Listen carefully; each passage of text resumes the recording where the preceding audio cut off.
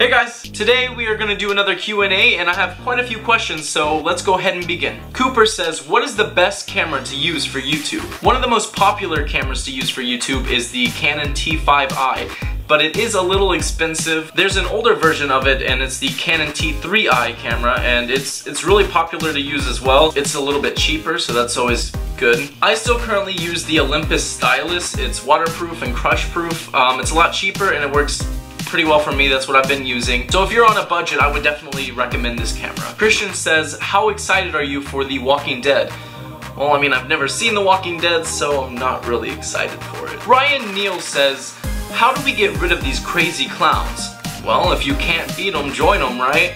Or you can just dress up as Batman and go beat them up. That usually seems to work, right? Bob Lurvy asks, what should Donald Trump be for Halloween? Um, he should be quiet. Random guy says, what should I do on a 10 hour plane ride? That's easy, what you should do is go and download all the movies that feature some kind of plane crash and then play them to mess with all the other people around you. Dirty Dan asks, I still watch SpongeBob and I'm 34.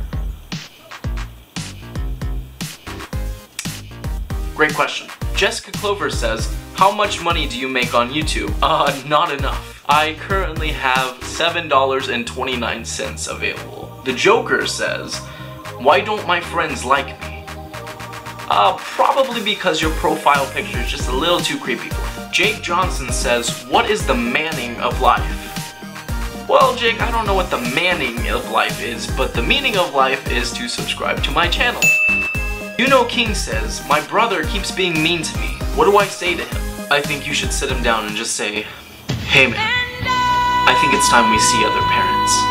Jacob Hartley says, if you were held at gunpoint by a mob of angry sheepdogs, how would you disarm them and save the great princess? I would say fetch, and then while they're out running and looking for the imaginary ball I just threw, I'd have plenty of time to eat the grape before she gets too old and turns into a disgusting raisin. John Kimmiesworth says, where can I find the will to live? Um, probably not on YouTube, where the number one comment is still kill yourself. And for the final question, who shot first, Greedo or Han? Well, let's find out. Over my dead body.